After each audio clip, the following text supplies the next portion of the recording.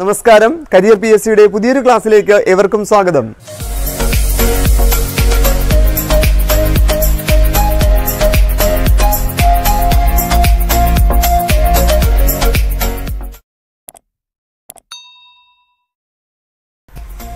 എന്റെ പേര് വിഷ്ണു. നമ്മളിന്ന് ഡിസ്കസ് ചെയ്യാൻ പോകുന്നത് എസ് സി ആർ ടിയുമായി ബന്ധപ്പെട്ട് അവസാനം നടന്ന പ്രധാന പരീക്ഷകളിൽ ചോദിച്ച ചോദ്യങ്ങളാണ്. ഇതിലൂടെ പാഠപുസ്തകങ്ങളിൽ നിന്ന് ഏതൊക്കെ രീതിയിൽ ഏതൊക്കെ ഭാഗങ്ങളിൽ നിന്ന് ചോദ്യങ്ങൾ പ്രതീക്ഷിക്കാം എന്നൊരു ഐഡിയ നമുക്ക് കിട്ടും. അപ്പോൾ നമുക്ക് ഇന്നത്തെ ക്ലാസ്സിലേക്ക് കിടക്കാം. ഒന്നാമത്തെ ചോദ്യത്തിലോട്ട് കിടക്കാം. ചോദ്യം ഇതാണ് സാമൂഹ്യ ശാസ്ത്രത്തിന്റെ പിതാവ്. സാമൂഹ്യ ശാസ്ത്രത്തിന്റെ പിതാവ്. രണ്ടായിരത്തി പത്തൊൻപത് കൊല്ലം കണ്ണൂർ വി ഒ പരീക്ഷയ്ക്ക് ചോദിച്ചൊരു ചോദ്യമാണ്. ഓപ്ഷൻസ് നോക്കാം. Option A Charles Darwin. Option B Robin Jeffrey. Option C Auguste Comte option D D P Mukherjee ഇവിടെ ഏതാണ് ശരിയായ ഉത്തരം? ഉത്തരം ഓപ്ഷൻ സി അഗസ്റ്റ് കോംതെ സോഷ്യോളജിയുടെ പിതാവ് സാമൂഹ്യശാസ്ത്രത്തിന്റെ പിതാവ് അഗസ്റ്റ് കോംതെ ആണ്. ഇവിടെ ശ്രദ്ധിക്കേണ്ട പ്രധാനപ്പെട്ട ഒരു വസ്തുത എന്ന് പറയുന്നത് ഈ നാല് വ്യക്തികളും ഓപ്ഷനിൽ കൊടുത്തിരിക്കുന്ന നാല് വ്യക്തികളും പത്താം ക്ലാസ്സിലെ സാമൂഹ്യ ശാസ്ത്രത്തിലെ ഒരു ചാപ്റ്ററിൽ തന്നെ പ്രതിപാദിച്ചിരിക്കുന്ന നാല് പേരാണ്. ഒരു ചാപ്റ്ററിൽ നിന്ന് നാല് പേര് അതാണ് ഓപ്ഷനിൽ കൊടുത്തിരിക്കുന്നത്. അപ്പൊ എന്തുമാത്രം ഇമ്പോർട്ടൻസ് പി എസ് സി പരീക്ഷകൾ എസ് സി ആർ ടിക്ക് ഉണ്ട് എന്നുള്ളത് ഇതിൽ നിന്ന് തന്നെ നമുക്ക് വ്യക്തമാണ്. ഓപ്ഷൻസ് ഓരോന്നായി പരിശോധിക്കാം. ഓപ്ഷൻ എ പറയുന്നത് ചാൾസ് ഡാർവിൻ. ചാൾസ് ഡാർവിൻ നമ്മൾ കേട്ടിട്ടുണ്ട്. ഒരുപാട് കാര്യങ്ങൾ നമ്മൾ പഠിച്ചിട്ടുമുണ്ട്. അദ്ദേഹത്തിന്റെ പരിണാമ സിദ്ധാന്തം വളരെ ഫേമസ് ആണ്. പരിണാമ സിദ്ധാന്തത്തിന്റെ ഉപജ്ഞാതാവാര് എന്ന് ചോദിച്ചിട്ടുണ്ട്. ഒരുപാട് തവണ പി എസ് സി ചോദിച്ചിട്ടുള്ളതാണ് ആൻസർ എന്താ? ചാൾസ് ഡാർവിൻ ആണ്. അദ്ദേഹത്തിന്റെ പ്രശസ്തമായ ഒരു പുസ്തകമാണ് on the origin of species on the origin of species അതും പി എസ് സി നിരവധി തവണ ചോദിച്ചൊരു ചോദ്യമാണ്. ഇവിടെ അദ്ദേഹത്തിന്റെ പേര് വരാൻ കാരണം അദ്ദേഹത്തിന്റെ പരിണാമ സിദ്ധാന്തം സാമൂഹ്യ ശാസ്ത്ര പഠനത്തിന് ഉപയോഗപ്പെടുത്തി എന്നൊരു കാര്യം മാത്രമാണ് അതിനകത്ത് പ്രതിപാദിച്ചിരിക്കുന്നത്. അതുകൊണ്ടാണ് ഓപ്ഷനിൽ ചാൾസ് ഡാർവിന്റെ പേര് വന്നത്. അപ്പൊ അവിടെ ശ്രദ്ധിക്കേണ്ട ഒരു പോയിന്റ് ഉണ്ട്. ഒരു വ്യക്തിയുടെ പേര് കൂടെ ആ ചാപ്റ്ററിൽ പറയുന്നു. അതുകൂടെ നമുക്ക് പഠിക്കണം. ചോദ്യം ഇതാണ് ചാൾസ് ഡാർവിന്റെ പരിണാമ സിദ്ധാന്തം സാമൂഹ്യ ശാസ്ത്ര പഠനത്തിന് ഉപയോഗപ്പെടുത്തിയത് ആര് എന്ന് ചോദിച്ചാൽ ഹെർബർട്ട് സ്പെൻസർ ആണ് പേര് ഓർമ്മിച്ചിരിക്കണേ ഹെർബർട്ട് സ്പെൻസർ എന്ന സാമൂഹ്യ ശാസ്ത്രജ്ഞനാണ്. ചാൾസ് ഡാർവിന്റെ പരിണാമ സിദ്ധാന്തം സാമൂഹ്യ ശാസ്ത്ര പഠനത്തിന് ഉപയോഗപ്പെടുത്തിയത്.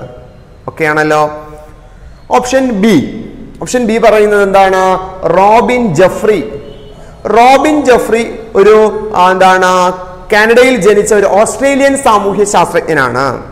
അദ്ദേഹത്തിന്റെ ഒരു പുസ്തകത്തെ പറ്റി ആ ചാപ്റ്ററിൽ പറയുന്നുണ്ട് നായർ മേധാവിത്വത്തിന്റെ പതനം. ഒരു മലയാള തർജമയാണ് നായർ മേധാവിത്വത്തിന്റെ പതനം. കേരളവുമായി ബന്ധമുള്ള ഒരു സാമൂഹ്യ ശാസ്ത്ര കേരളവുമായി ഒരുപാട് കാര്യങ്ങൾ സ്റ്റഡി നടത്തിയിട്ടുള്ള ഒരു സാമൂഹ്യ ശാസ്ത്രജ്ഞനാണ് റോബിൻ ജഫ്രി. അപ്പൊ അദ്ദേഹത്തിന്റെ പുസ്തകത്തിന്റെ പേര് ഓർമ്മിച്ചിരിക്കുക എന്താണ്? നായർ മേധാവിത്വത്തിന്റെ പതനം. ഓപ്ഷൻ സി പറയുന്നത് അഗസ്റ്റ് കോംതെ അതാണ് നമ്മുടെ ഉത്തരം. എന്താണ്? സാമൂഹ്യ ശാസ്ത്രത്തിന്റെ പിതാവ്. അദ്ദേഹം ഒരു ഫ്രഞ്ച് ശാസ്ത്രജ്ഞനാണ് എന്നുള്ളൊരു കാര്യം കൂടെ ഓർമ്മ ഫ്രഞ്ച് ശാസ്ത്രജ്ഞനായ അഗസ്റ്റ് കോംതെയാണ് സോഷ്യോളജിയുടെ അല്ലെങ്കിൽ സാമൂഹ്യ ശാസ്ത്രത്തിന്റെ പിതാവ് എന്നറിയപ്പെടുന്നത്. ഓപ്ഷൻ ഡി പറയുന്നത് ഡി പി മുഖർജി അപ്പൊ ഡി പി മുഖർജിയും ഒരു പ്രശസ്തനായ ഇന്ത്യൻ സാമൂഹ്യ ശാസ്ത്രജ്ഞനാണ്. ഓക്കെയാണ് അപ്പൊ നമ്മുടെ ചോദ്യം എന്തായിരുന്നു? സാമൂഹ്യ ശാസ്ത്രത്തിന്റെ പിതാവ്. ഉത്തരം അഗസ്റ്റ് കോംതെ ഓക്കെ ആണല്ലോ? അപ്പോൾ നമുക്ക് ഇനി രണ്ടാമത്തെ ചോദ്യത്തിലോട്ട് കിടക്കാം. ചോദ്യം ഇതാണ് വനിതാ ശാക്തീകരണം ഇന്ത്യയുടെ ശാക്തീകരണം എന്നത് ഏത് ബാങ്കിന്റെ മുദ്രാവാക്യമാണ്? രണ്ടായിരത്തി പത്തൊൻപത് വി ചോദിച്ചൊരു ചോദ്യമാണിത്. ഓപ്ഷൻസ് നോക്കാം. Option A Mudra bank. Option B EXIM bank of India option C Mahila bank. Option D വികസന ബാങ്ക്. ഏതാണ് ശരിയായ ഉത്തരം? ഓപ്ഷൻ സി മഹിളാ ബാങ്ക് ഇത് ചോദ്യം തന്നെ കേൾക്കുമ്പോൾ തന്നെ നമുക്ക് മനസ്സിലാവും. ഇല്ല വനിതാ ശാക്തീകരണം കേൾക്കുമ്പോൾ തന്നെ നമുക്ക് മനസ്സിലാവും ഉത്തരം എന്താണ് മഹിളാ ബാങ്ക് ആണ്. എളുപ്പമുള്ള ഒരു ചോദ്യമാണ്. പക്ഷെ ശ്രദ്ധിക്കുക ഈ നാല് ബാങ്കുകളെ പറ്റിയും പത്താം ക്ലാസ്സിലെ സോഷ്യൽ സയൻസിലെ ഒരു പാഠഭാഗത്തിൽ പ്രതിപാദിക്കുന്നുണ്ട്. ഈ നാല് ബാങ്കുകളെ പറ്റിയും പറയുന്നുണ്ട്. ഇവിടെ ശ്രദ്ധിക്കേണ്ട ഒരു കാര്യം ഓപ്ഷൻ എ പറയുന്ന മുദ്രാ ബാങ്ക്. മുദ്രാ ബാങ്ക് ആരംഭിക്കുന്നത് രണ്ടായിരത്തി പതിനഞ്ച് ഏപ്രിൽ എട്ടിനാണ്. രണ്ടായിരത്തി പതിനഞ്ച് ഏപ്രിൽ എട്ടിനാണ് പ്രധാന ഉദ്ദേശം എന്ന് പറയുന്നത്. അത് ചോദിച്ചിട്ടുള്ള ഒരു ചോദ്യമാണ്. പി എസ് സിയുടെ ഒരു പ്രീവിയസ് ചോദ്യമാണ്. ചെറുകിട സംരംഭകർക്ക് വായ്പകൾ നൽകുക എന്നുള്ള ഉദ്ദേശത്തോടു കൂടി ആരംഭിച്ച ബാങ്ക് ഏത് എന്ന് ചോദിച്ചിട്ടുണ്ട്. അവിടെ ഉത്തരം ഏതാണ്? മുദ്രാ ബാങ്കാണ് ചെറുകിട ചെറുകിട സംരംഭകർക്ക് വായ്പകൾ നൽകുക എന്നുള്ള ഉദ്ദേശത്തോടു കൂടി ഉദ്ദേശത്തോടു കൂടി ആരംഭിച്ച ബാങ്കാണ് ഏത്? മുദ്രാ ബാങ്ക്. ആരംഭിക്കുന്നത് രണ്ടായിരത്തി പതിനഞ്ച് ഏപ്രിൽ എട്ട്. ഓപ്ഷൻ ബി പറയുന്നത് EXIM bank of India. EXIM bank EXIM അല്ലെ? എക്സ്പോർട്ട് ഇമ്പോർട്ട് എക്സിം എന്താ? എക്സ്പോർട്ട് ഇമ്പോർട്ട് എക്സ്പോർട്ട് ഇമ്പോർട്ട് എന്ന് കേൾക്കുമ്പോൾ തന്നെ നമുക്ക് മനസ്സിലാവും. എന്താണ്?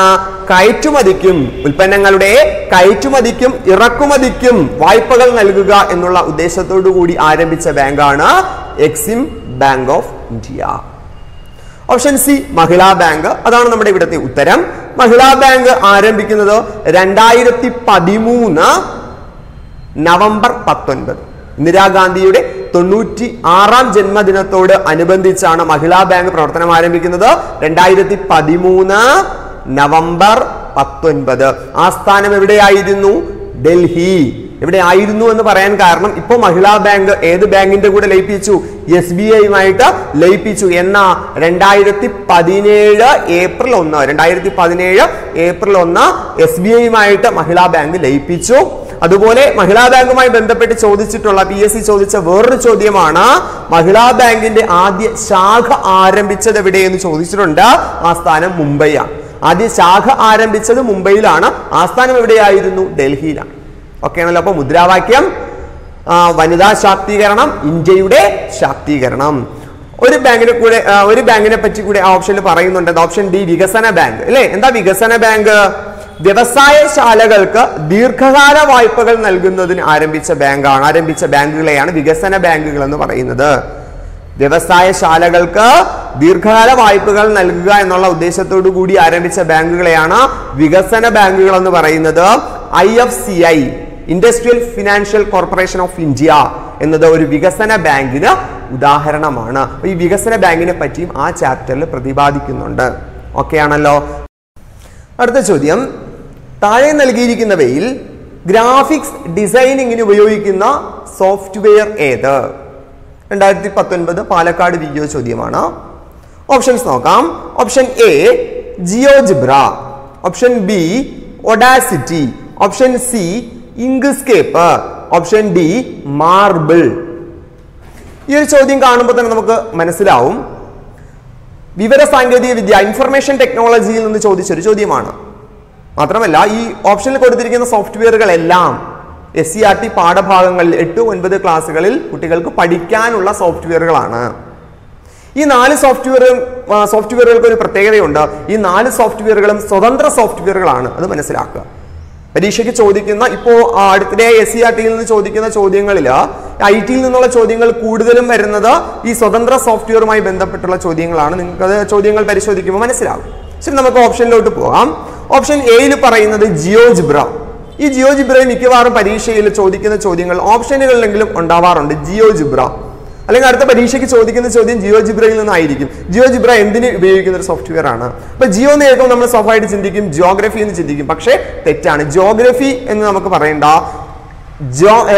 ജിയോമെട്രിക്കൽ ഷേപ്സ് എന്നുള്ള ഓർത്തിരുന്നാൽ മതി. ജോമെട്രിക്കൽ ഷേപ്സ് ജാമതീയ രൂപങ്ങൾ. അപ്പോ ശരിയായി പറഞ്ഞാൽ ജാമതീയ രൂപങ്ങളുടെ നിർമ്മാണത്തിന് ജോമെട്രിക്കൽ ഷേപ്സിന്റെ കൺസ്ട്രക്ഷന് വേണ്ടി ഉപയോഗിക്കുന്ന ഒരു സോഫ്റ്റ്വെയർ ആണ് ഒരു സ്വതന്ത്ര സോഫ്റ്റ്വെയർ ആണ് ഏത്? ജിയോജിബ്ര അല്ലെങ്കിൽ ഗണിത പഠനത്തിന് അതായിരിക്കും ഓപ്ഷൻ ഉണ്ടാവുക. ഗണിത പഠനത്തിന് വേണ്ടി ഉപയോഗിക്കുന്ന ഒരു സോഫ്റ്റ്വെയർ ആണ് ഏത്? ജിയോജിബ്ര ഓക്കെ ആണല്ലോ? അപ്പൊ സംശയം വരരുത്. ജിയോജിബ്ര എന്തിനു ഉപയോഗിക്കുന്ന സോഫ്റ്റ്വെയർ ആണ്? ജാമതീയ രൂപങ്ങളുടെ നിർമ്മാണം അല്ലെങ്കിൽ ഗണിതശാസ്ത്ര പഠനത്തിന് ഉപയോഗിക്കുന്ന ഒരു സ്വതന്ത്ര software okay then option B പറയുന്നത് എന്താണ്? ഒഡാസിറ്റി ഒഡാസിറ്റി അപ്പോൾ പേരിൽ നിന്ന് അത് നമുക്ക് കിട്ടും. ഒഡ എന്ന് പറഞ്ഞ ഓഡിയോ ശബ്ദം. ശബ്ദ മിശ്രണത്തിനും റെക്കോർഡിങ്ങിനും വേണ്ടി ഉപയോഗിക്കുന്ന ഒരു സോഫ്റ്റ്വെയർ ആണ് ഏത്? ഒഡാസിറ്റി ശബ്ദ മിശ്രണത്തിന് വേണ്ടി ഉപയോഗിക്കുന്ന അല്ലെങ്കിൽ റെക്കോർഡിങ്ങിന് വേണ്ടി ഉപയോഗിക്കുന്ന സൗണ്ട് എഡിറ്റിങ്ങിന് വേണ്ടി ഉപയോഗിക്കുന്ന ഒരു സോഫ്റ്റ്വെയർ ആണ് ഏത്? ഒഡാസിറ്റി അതും ഒരു സ്വതന്ത്ര സോഫ്റ്റ്വെയർ ആണ്. ഓപ്ഷൻ സി ഇംഗ്സ്കേപ്പ് ഇതാണ് നമ്മുടെ ചോദിച്ച ചോദ്യത്തിന്റെ ഉത്തരം. ചോദ്യം ഗ്രാഫിക്സ് ഡിസൈനിങ്. അപ്പൊ ഇങ്ക്സ്കേപ്പ് എന്ന് പറയുന്നത് ഗ്രാഫിക്സ് ഡിസൈനിങ്ങിന് വേണ്ടി ഉപയോഗിക്കുന്ന ഒരു സോഫ്റ്റ്വെയർ ആണ്. പത്താം ക്ലാസ്സിൽ എന്താണ് വിവര സാങ്കേതിക വിദ്യയിൽ ആദ്യത്തെ ചാപ്റ്ററിലാണ് ഈ ഇങ്ക്സ്കേപ്പ് എന്ന സോഫ്റ്റ്വെയറിനെ പറ്റി പറയുന്നത്. അപ്പൊ ഇങ്ക്സ്കേപ്പ് ഡൗട്ട് വരരുത്. ഗ്രാഫിക്സ് എഡിറ്റിങ്ങിന് വേണ്ടി ഉപയോഗിക്കുന്നു. മിക്കവാറും പരീക്ഷയ്ക്ക് ചോദിക്കുമ്പോൾ ഒരു ഗ്രാഫിക് സോഫ്റ്റ്വെയർ കൂടെ മിക്കവാറും ഓപ്ഷനിൽ ഉണ്ടാവാറുണ്ട്. ജിംബ് നിങ്ങൾ കണ്ടിട്ടുണ്ടാവും പല ചോദ്യങ്ങളിൽ GIMP G I M B GIMP ജിംബിന്റെ പൂർണരൂപം ഓർത്തിരിക്കുക. GNU image manipulation program. GNU image manipulation program. ജിംബും ഒരു ഗ്രാഫിക്സ് എഡിറ്റിംഗ് സോഫ്റ്റ്വെയർ ആണ്. അപ്പൊ രണ്ട് ഗ്രാഫിക്സ് എഡിറ്റിംഗ് സോഫ്റ്റ്വെയർ നമ്മൾ പഠിച്ചു. ഒന്ന് ഇംഗ്സ്കേപ്പ് ജിംബ് രണ്ടും ഇമ്പോർട്ടന്റ് ആണ്. കേട്ടിട്ടുണ്ടാവും അഡോബ് ഫോട്ടോഷോപ്പ് അല്ലെ? അഡോബ് ഫോട്ടോഷോപ്പ് സാറിന്റെ ഫോട്ടോ വർക്കിനൊക്കെ വേണ്ടി ഉപയോഗിക്കുന്ന ഒരു സോഫ്റ്റ്വെയർ ആണ് അഡോബ് ഫോട്ടോഷോപ്പ് അതൊരു ഗ്രാഫിക്സ് എഡിറ്റിംഗ് സോഫ്റ്റ്വെയർ ആണ്. പക്ഷേ അത് എന്തല്ല സ്വതന്ത്ര സോഫ്റ്റ്വെയർ അല്ല. ചിലപ്പോൾ തന്നിരിക്കുന്നവയിൽ ഇങ്ങനെ ആയിരിക്കും ചോദ്യം. താഴെ തന്നിരിക്കുന്നവയിൽ ഗ്രാഫിക്സ് എഡിറ്റിംഗിന് വേണ്ടി ഉപയോഗിക്കുന്ന ഒരു സ്വതന്ത്ര സോഫ്റ്റ്വെയർ ഏത്? ഓപ്ഷനിൽ ഇങ്ക്സ്കേപ്പും ഉണ്ടാവും അഡോബ് ഫോട്ടോഷോപ്പും ഉണ്ടാവും. അപ്പം നമുക്ക് അഡോബ് ഫോട്ടോഷോപ്പ് കൂടുതലായി കേട്ടിട്ടുള്ളത് കൊണ്ട് അത് ആൻസർ ചെയ്യാൻ നമ്മൾ ശ്രമിക്കും. പക്ഷെ തെറ്റാണ്. കാരണം എന്താ? അഡോബ് ഫോട്ടോഷോപ്പ് ഒരു സ്വതന്ത്ര സോഫ്റ്റ്വെയർ അല്ല. അതൊരു ഉടമസ്ഥാവകാശമുള്ള സോഫ്റ്റ്വെയർ ആണ്. പ്രോപ്രൈറ്ററി സോഫ്റ്റ്വെയർ ആണ്. ക്ലിയർ ആണല്ലോ? ഓപ്ഷൻ ഡി നോക്കാം. ഓപ്ഷൻ ഡി പറയുന്നത് എന്താ? മാർബിൾ മാർബിൾ എന്തിനു ഉപയോഗിക്കുന്ന സോഫ്റ്റ്വെയർ ആണ്? മാർബിൾ ജോ എന്താണ് ജോഗ്രഫിയുമായി ബന്ധപ്പെട്ട് ഭൂമിശാസ്ത്ര പഠനവുമായി ബന്ധപ്പെട്ട് ഉപയോഗിക്കുന്ന ഒരു സോഫ്റ്റ്വെയർ ആണ് ഏത്? മാർബിൾ ഭൂമിശാസ്ത്ര പ്രത്യേകതകൾ ഓരോ പ്രദേശത്തിന്റെയും ഭൂമിശാസ്ത്രപരമായ പ്രത്യേകതകൾ മനസ്സിലാക്കാൻ ഉപയോഗിക്കുന്ന ഒരു സോഫ്റ്റ്വെയർ ആണ് മാർബിൾ ഓക്കെ ആണല്ലോ അപ്പൊ നാല് സോഫ്റ്റ്വെയർ മറക്കരുത്. ജിയോജിബ്ര ഗണിതശാസ്ത്ര പഠനത്തിന് ഉപയോഗിക്കുന്നു. ഒഡാസിറ്റി ശബ്ദമിശ്രണത്തിന് ഉപയോഗിക്കുന്നു. ഇംഗ്സ്കേപ്പ് ഗ്രാഫിക്സ് ഡിസൈനിങ്ങിന് ഉപയോഗിക്കുന്നു. മാർബിൾ ഭൂമിശാസ്ത്ര പഠനത്തിന് ഉപയോഗിക്കുന്നു. അടുത്ത ചോദ്യം. പൈത്തൺ സോഫ്റ്റ്വെയർ എന്തിനുള്ളതാണ്? പൈത്തൺ സോഫ്റ്റ്വെയർ എന്തിനുള്ളതാണ്? ഇത് നേരത്തെ പറഞ്ഞ അതേ പരീക്ഷയിൽ തന്നെ ചോദിച്ച വേറൊരു ചോദ്യമാണ്. ഓപ്ഷൻസ് നോക്കാം.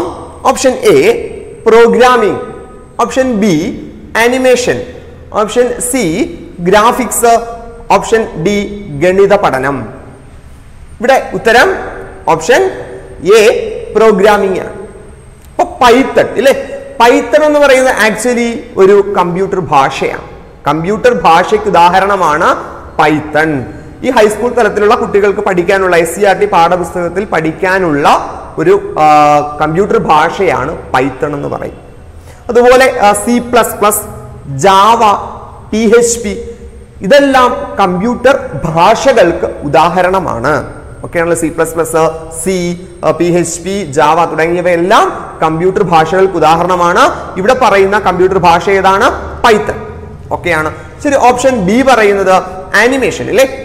അനിമേഷന് വേണ്ടിയിട്ട് ഉപയോഗിക്കുന്ന ഒരു സ്വതന്ത്ര സോഫ്റ്റ്വെയർ ആണ് ടുപ്പി ടു ഡി മാജിക് എന്താണ്? ടുപ്പി ടു ഡി മാജിക് അതുപോലെ തന്നെ സിൻഫിക് സ്റ്റുഡിയോ രണ്ട് സോഫ്റ്റ്വെയറുകൾ ഒന്ന് Tupi two D Magic Synfig Studio ഇത് രണ്ടും എന്തിനുപയോഗിക്കുന്ന സോഫ്റ്റ്വെയർ ആണ്? അനിമേഷന് വേണ്ടി ഉപയോഗിക്കുന്ന സോഫ്റ്റ്വെയർ ആണ്.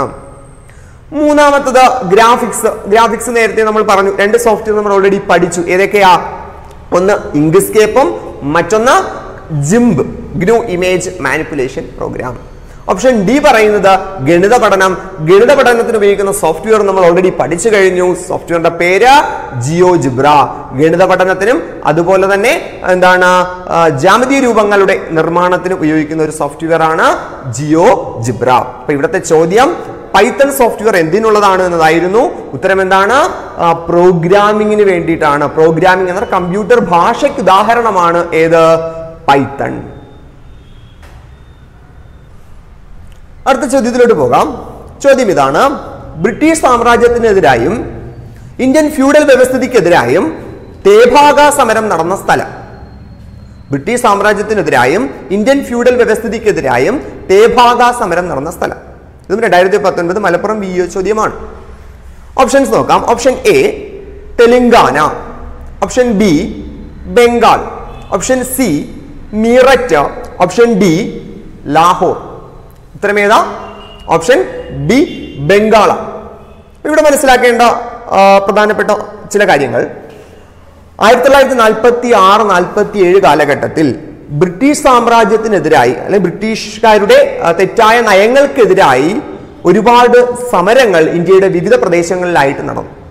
അതിലൊരു സമരമാണ് ഈ തേഭാഗ സമരം. ആയിരത്തി തൊള്ളായിരത്തി നാൽപ്പത്തി ആറ് നാൽപ്പത്തി ഏഴ് കാലഘട്ടത്തിൽ ബംഗാളിൽ നടന്ന ഒരു സമരമാണ് തേഭാഗ സമരം. തേഭാഗ എന്ന് പറഞ്ഞാൽ മൂന്ന് ഭാഗം എന്നാണ് അർത്ഥം. ബംഗാളിലെ കർഷക തൊഴിലാളികൾ നടത്തിയ ഒരു സമരമാണ് തേഭാഗ സമരം.